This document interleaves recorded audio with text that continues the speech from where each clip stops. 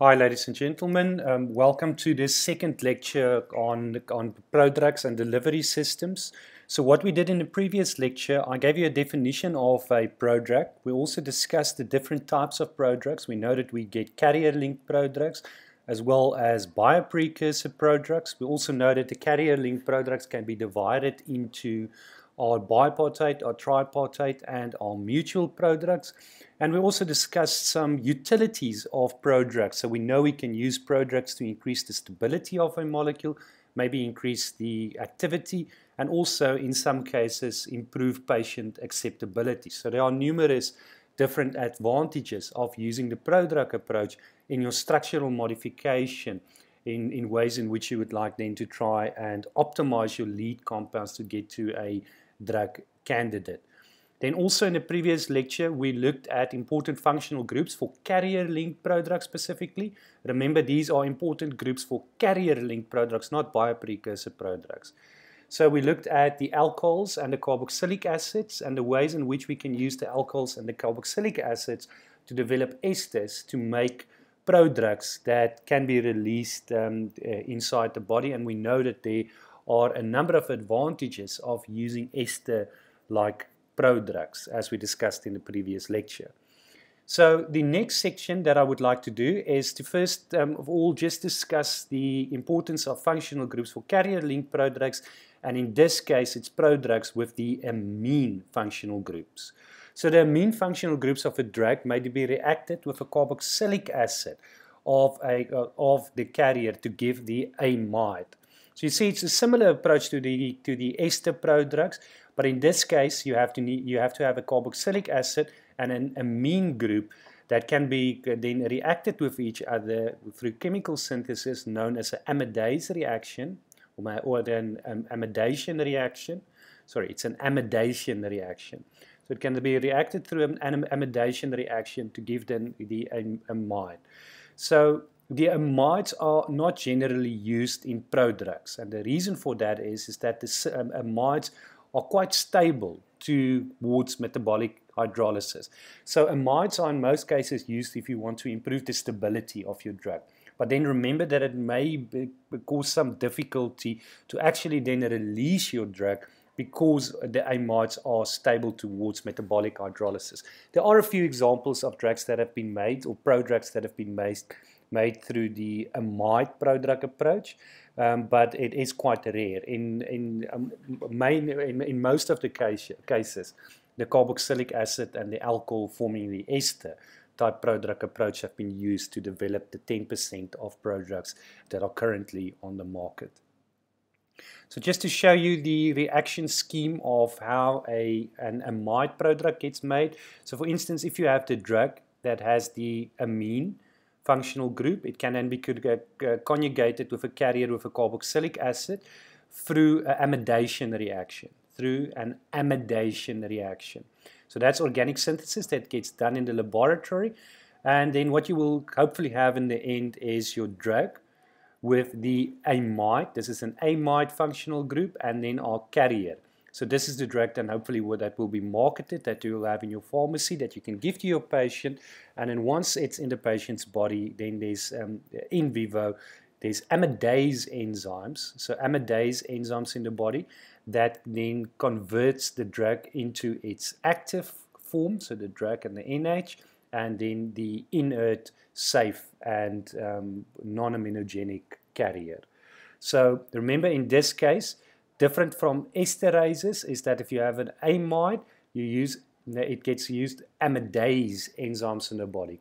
So amidase enzymes are also not as abundant as esterase enzymes, and that is another reason why we struggle with the uh, metabolic hydrolysis of the amidase uh, amide prodrug is because there's not a lot of amidase enzymes um, in the body.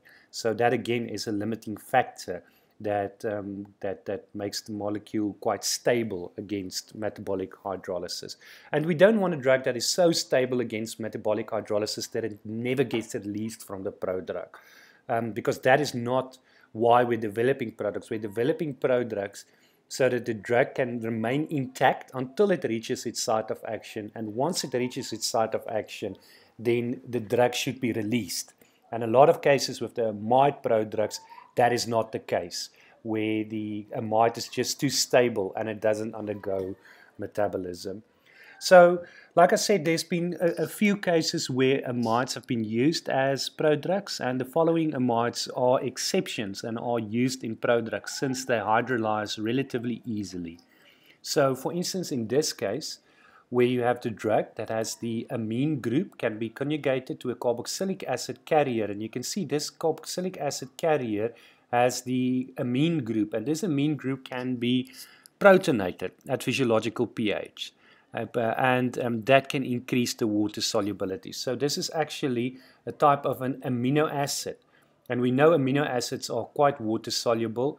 So if you want to improve the, uh, the water solubility of your amine drug, then you can use this type of approach where you conjugate it with an amino acid and the amino acid will then increase the water solubility because it will be protonated at physiological pH.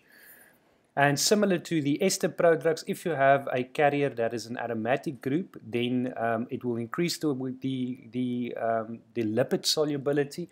So, for instance, in this case, is where you have the drug with the amine carboxylic acid carrier that was conjugated to form the amide, and now you have a drug that that a prodrug that has this aromatic structure in there which will increase the lipophilicity. And hopefully, once it reaches its site of action, then the drug will be released.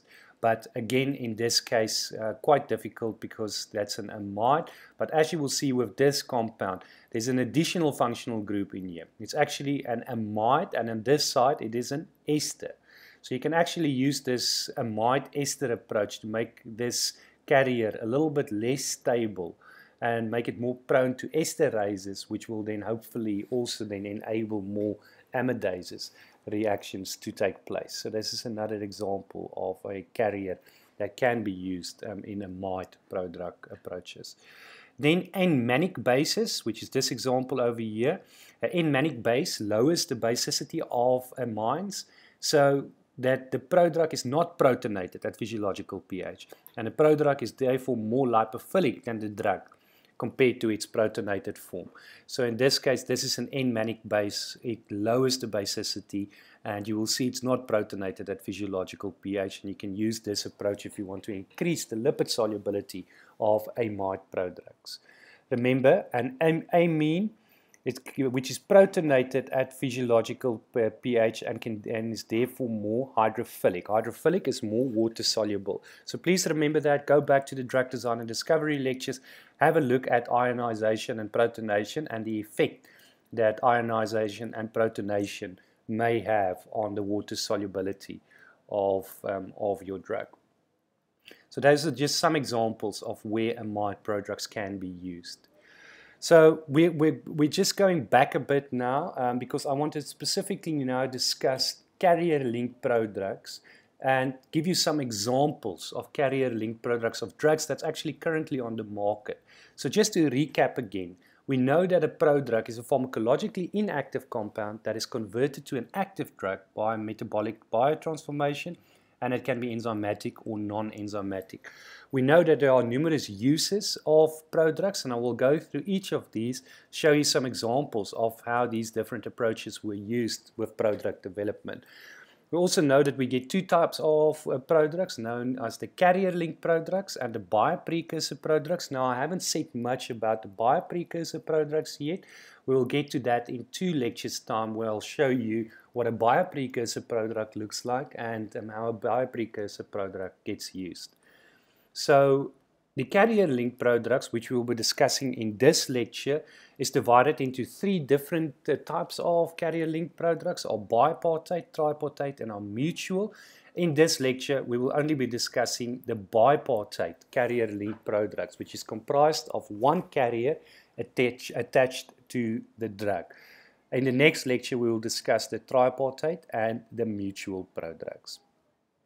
So let's have a look at some examples of carrier-linked bipartite prodrugs. So it's a carrier directly conjugated to our active molecule. So example number one is we have a prodrug for, for increased water solubility. So for instance, prednisolone and methylprednisolone are poorly soluble in water and they can therefore not be formulated into an aqueous injection, so for, to an IV injection. Both of these two drugs um, are actually marketed as pre, uh, Prelone and Medrol, but they are marketed as, as oral dosage forms and they can't be made into IV aqueous injection because they have poor water solubility. So what some drug design uh, companies have done is to develop Solumedrol and Pediaped. So you can see what they've done here.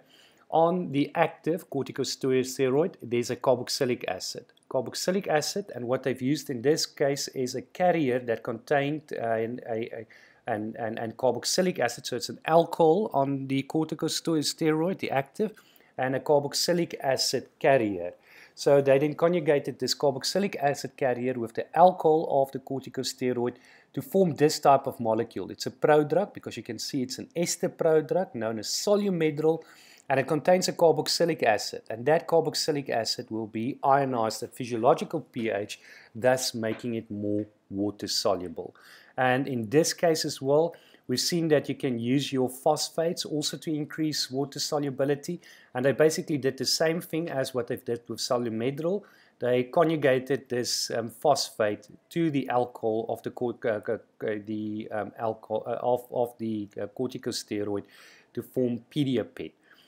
So um, in both of these cases, by using the prodrug approach, they've increased the water solubility to make these type of molecules, which could now be ionized, to make it more water soluble and you can actually then formulate it into solumedrol and pediaped which are currently used as corticosteroids with its route of administration being an IV um, route of administration because it is more water soluble.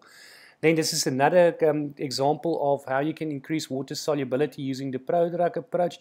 So the local anesthetic benzocaine is not suitable um, or soluble in water and can therefore not be formulated for aqueous injection. So the amino acid prodrug of this benzocaine is water soluble and is rapidly hydrolyzed in the, in the serum by amidase.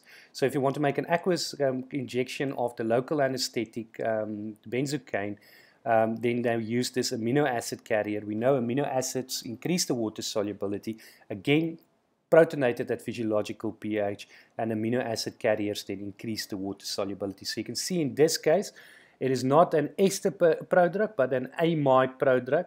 So there are amidase enzymes um, that can rapidly hydrolyze this carrier and then release this active of, um, of benzocaine um, in the serum.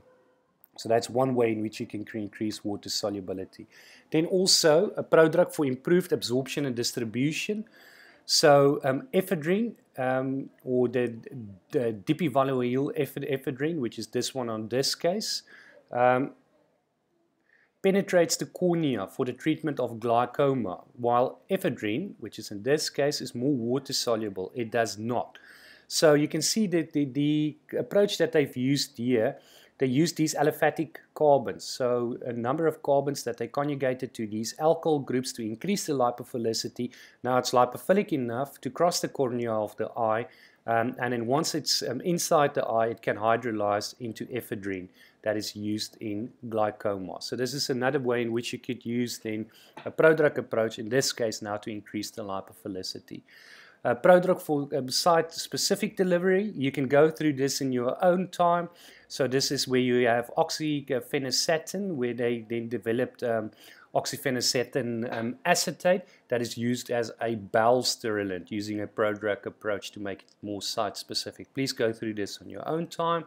Then also other prodrugs for um, site specificity, specificity um, so we know that the blood-brain barrier prevents hydrophilic molecules from entering the brain unless they are lipophilic enough. Now we know if we look at the log P value, it needs to be between 2 and less than 5. If it's more than 5, then it's too lipophilic and it won't cross. So the anticonvulsant drug vigabatrin, um, so you can see my notes, crosses the blood-brain barrier poorly. Um, a glycerol lipid known as um, linalool, it's this one over here, it's on this R position over here, contains one GABA ester and one vigabatrin ester. which is 300 times more potent in vivo um, than vigabatrin. So, for instance, the approach that they've used here is we know that we have GABA, that is the anticonvulsant, and we have this uh, um, vigabatrin, which is an inactivator of GABA and aminotransferase and an anticonvulsant. So both of these two drugs, you can see they contain carboxylic acids. They will be ionized at physiological pH. They won't be lipid uh, soluble enough to cross the blood-brain barrier. So what they've then done, they combined the GABA and the vigabatrin, both which are active compounds, um, and they combined them through a carrier. And now this drug, if you go and calculate its log P values between 2 and 5, so this drug can actually then, uh, or this prodrug can then cross the blood-brain barrier, and then once it's in the central nervous system, brain esterases will then form GABA, the GABA. Um, the carrier will be released and the vigabatrin will be released. And like I've already said, it's 300 times more potent this vigabatrin and GABA for, that gets released from the prodrug compared to when vigabatrin or GABA is just given on its own. And obviously, the reason for that is, is that GABA and vigabatrin can't cross the blood-brain barrier, but using this prodrug approach, both crosses the blood-brain barrier, it gets released in the central nervous system, and both can have the effect, and they can also be in much, much higher um, concentrations in the brain. So please go through this slide again, go through my notes, make sure that you understand this because this is an excellent example of a mutual prodrug. So a mutual prodrug is where you have two actives, and in this case, both vigabatrin and GABA are the two actives. And mark this as very, very important for the exams, where we can um, ask you a question on um, on products for site-specific delivery as well as where you can use a mutual prodrug approach. Then also some prodrugs to enhance the stability of the drug through protection from first pass metabolism. So propranolol um, is rapidly metabolized in the liver after oral administration and it forms a propranolol O-glucuronide. So you can see on this position over here is the site of glucuronization in the liver, so it undergoes metabolism and gets excreted much, much quicker. So succinic acid of propranolol was prepared to block this glucuronide formation in the liver. So you can see at that uh, site of glucuronidation in the liver, they've protected it with a succinic acid carrier. So this succinic acid carrier then protects it in, um, through first pass metabolism, and once it reaches its site of action, um, then propranolol gets released and you have a drug that is eight times as, as a, it's eight times higher following administration of the prodrug compared to the level, levels of the propranolol administration on its own. So the prodrug has improved the concentration of propranolol um, as much as eight times in the body. So obviously you will need less of the drug and also um, it, it will, could lead to less side effects because you have a lower concentration of the of the actual drug using the prodrug approach and you can still get to a level that is therapeutically active. So this is also quite important. So um, the type of carrier carrier link prodrugs we've already now discussed bipartite carrier link products. So everything that we've done up to now is all bipartite. It's where we just have a carrier directly conjugated to the to, to the drug, except in that case of vigabatrin and, um, and GABA. That is not a bipartite product. That is actually a mutual product. But all of the rest of the examples that I've given you in this section are bipartite carrier-linked prodrugs.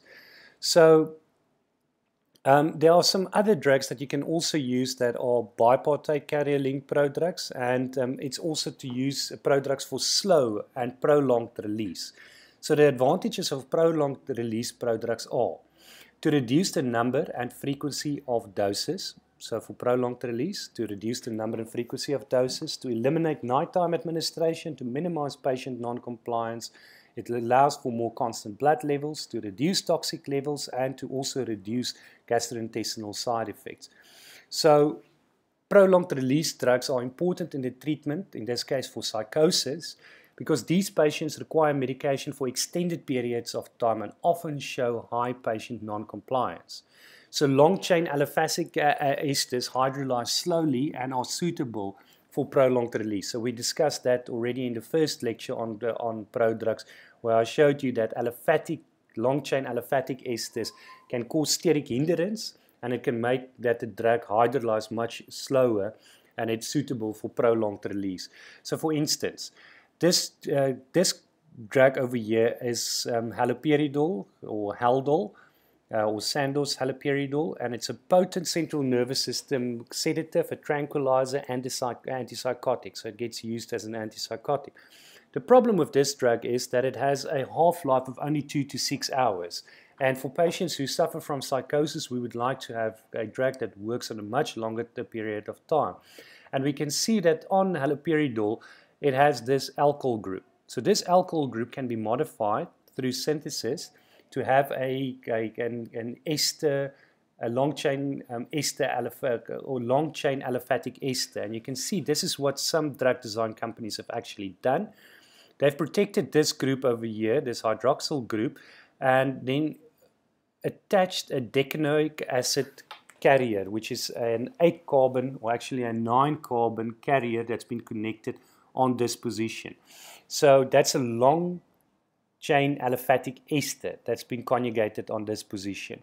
And now this um, decanoate, known as Haldol decanoate, is, an, is given as an intramuscular depot injection. So it's a depot injection. Depot injection is an injection that maybe if you um, if you inject it at the site, it actually accumulates at that site and it sits there for a long time and through this prodrug approach it hydrolyzes very very slowly.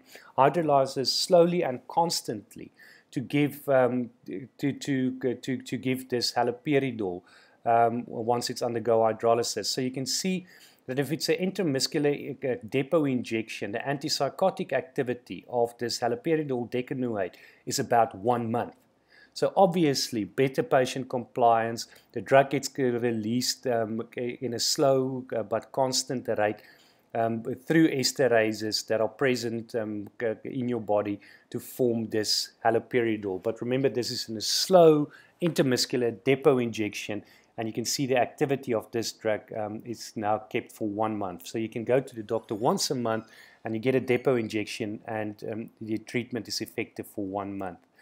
This is another example. You can go through this in your own uh, time. This is again an antipsychotic drug, uh, fluphenazine decanoate, that's been used in a similar approach as haloperidol, um, where they again try to make an antipsychotic drug that um, has activity for about one month through the intramuscular depot injection compared to when it's not a prodrug, it has a short duration of activity of only six to eight hours. There's also been um, some cases where they've made prodrugs to minimize toxicity, and many of the prodrug examples already discussed already have the property of lower toxicity. For instance, prodrugs for site-specific delivery, delivery on section 6.2, for example, ephedrine has ocular and systemic side effects not found in um, ephedrine that's been used uh, for glaucoma. The prodrug to enhance stability, for example, the succinic acid ester of propranolol is less toxic than propranolol. So that's another example where um, we've used prodrugs to minimize toxicity. Also, prodrugs for prolonged release, for example, the decanoic acid ester of haloperidol is less toxic than haloperidol because there's a much slower release of the decanoic acid haloperidol so the uh, the rate is is kept constant and your dosage level is also kept constant, thus making it less toxic than haloperidol. So these, this is a nice exam question where I can also ask you, give me a few examples of how prodrugs were used to minimize toxicity, and then you can use any of these three examples to explain your answer. Um, this is another prodrug where they used um, uh, aspirin um, to minimize the toxicity. Like for instance, aspirin causes gastrointestinal side effects, and the main reason it causes gastrointestinal side effects is because of the carboxylic acid on aspirin. That carboxylic acid lowers the pH in the gastrointestinal tract, and it also leads to other reactions in the gastrointestinal tract that leads to some side effects. Um, so what some researchers have done they've um, included a carrier on this position where they mask or uh, yeah, mask this carboxylic acid with the carrier and what you see here is that you have no gastrointestinal side effects.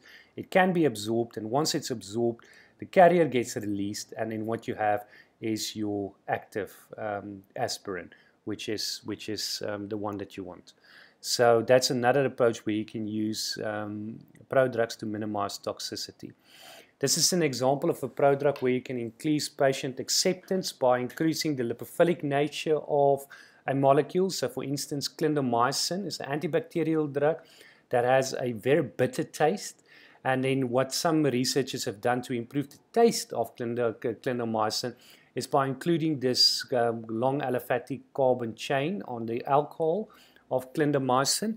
And in this case, it has a better taste because it can't dissolve in the saliva because you need a drug that is more um, water soluble to dissolve in your mouth. So in this case, it doesn't dissolve. So now the taste is much better compared to um, clindamycin. So this is one example of how you can use prodrugs to increase patient compliance. And you can have a look at this um, example here as well, where they've tried to increase the water solubility of clindamycin to make it a less painful intravenous um, injection to make it more water soluble. So please go through this example on your own time. So guys, that brings me to the end of this section. Um, what we need to do still in this prodrugs is to discuss the tripartite prodrugs, the mutual prodrugs, and then also our bioprecursor prodrugs, which we will complete um, in the next lecture. I really do hope that you that you like this um, online lecture. Uh, please make notes of any questions that you may ha have, and we will discuss any of the questions that you have um, in next week. Thank you.